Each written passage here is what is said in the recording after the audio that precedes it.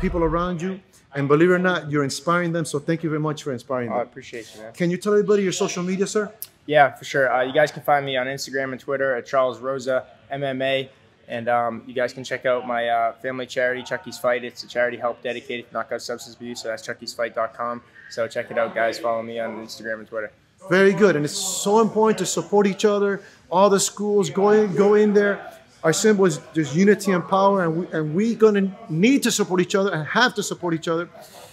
You had an up and coming fight in the UFC, correct? Yes. Let's tell everybody about that. Yeah, so I'm fighting February 20th, one week from today, February 20th, UFC Las Vegas, Apex Center, um, UFC Vegas 19. I'm going to be squaring off against Darrick Minner, so it's going to be an awesome fight, big one. You know, I'm going to look to continue my winning streak in the UFC, coming off a big win in June. So, you know, I'm training under Roger Crawl, Charles McCarthy, and man, I'm just, I've never been more ready for a fight in my life. Awesome. So I was, I was going to tell you that. How's the training going? Good. Uh, couldn't be better, man. I'm in the best shape I've ever been, the lightest I've ever been, the fastest I've ever been, and the most technical. So, you know, you're gonna see the best version of me, and I, you know, I can't go. Yeah, I, I saw you in the cage. I don't want to give you secrets, but doing some explosive stuff. So you look explosive, working on the technical. Um, do you see yourself changing up anything you did from your last fight?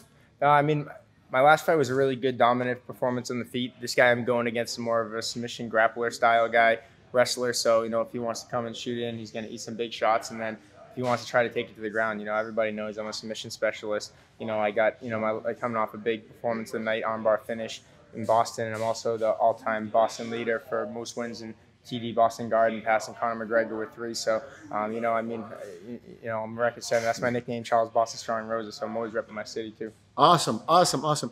Let me ask you a question. People might know, might not know.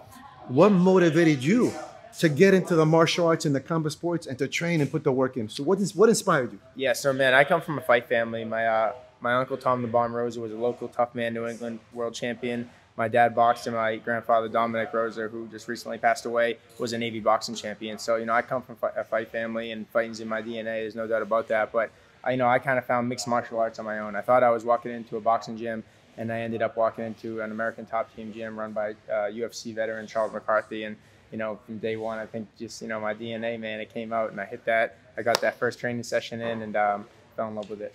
Excellent. Let me say it in Spanish.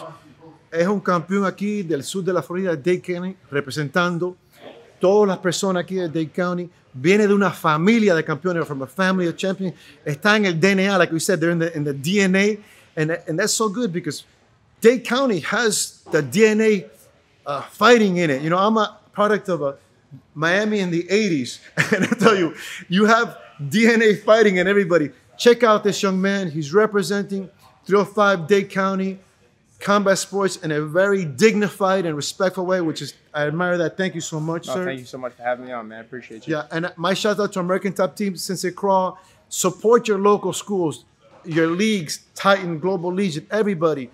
You know, like we said, don't hate, appreciate, and participate. Anybody, any shout outs you want to give to anybody? Yeah, like I said before, you know, if you guys want to check out chuckysfight.com, you know, it's a charity that's helped dedicated to knockout substance abuse. You know, I lost uh, my two older brothers, Dominic and Vincent, to drug overdoses when I was young, and I think that's what really makes me a fighter and makes me who I am. So, um, if you guys check it out, support a good cause. You know, all the money goes towards you know helping kids, teens, and adults that need help to get into treatment centers. So, you know, that's a it's an ongoing pandemic, obviously, and um, it's one that I fight for. Excellent.